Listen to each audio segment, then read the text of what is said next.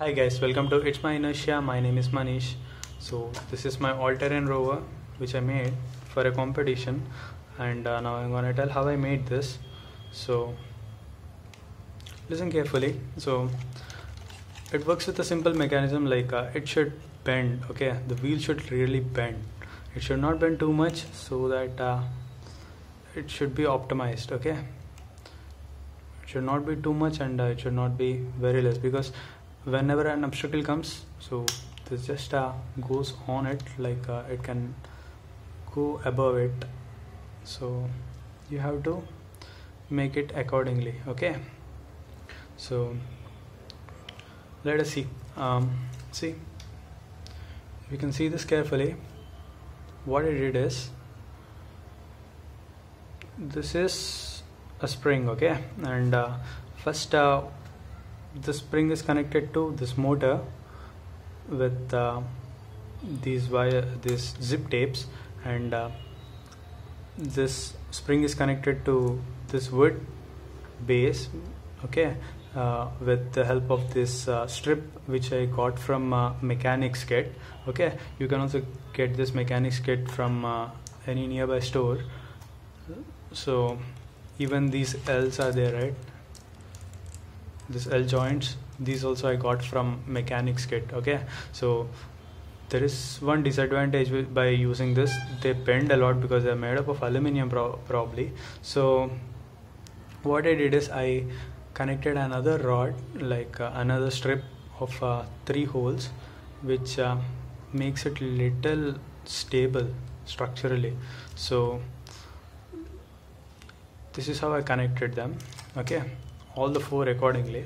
And uh, when it comes to the circuits to the circuit so what I did is these two should be connected together like all the positive uh, positive terminals of these two and negative terminals of these two should be connected together. And uh, here also the same way positive terminals of these two and negative terminals of these two should be connected together. Okay? Uh, so then what I did is these are connected to motor drive okay? These are connected to the motor drive and uh, I will upload these uh, uh, my program in my website as soon as possible. So you can directly copy from there.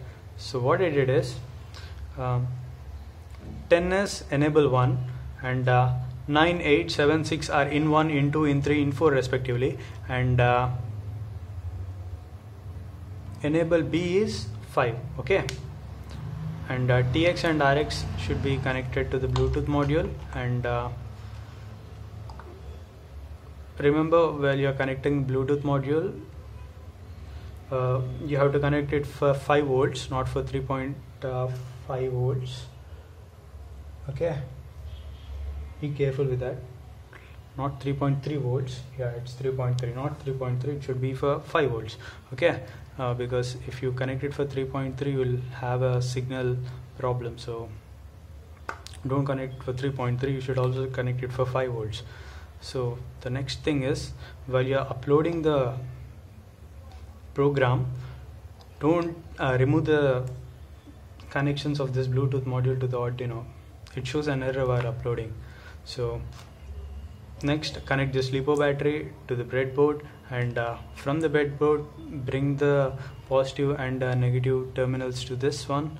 And uh, remember this is the ground and uh, this middle one is the ground and this is 12 volts in okay?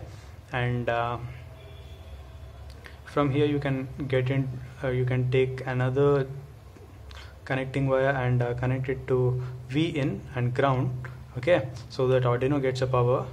So the next thing you have to do is connect the Bluetooth module after uploading. And uh, and if, uh, I used a phone app for controlling this.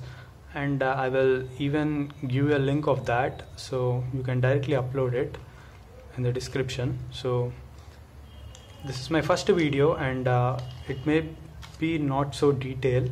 So sorry for that. Um, from the next video I'll try to do it as good as possible. So if you like it please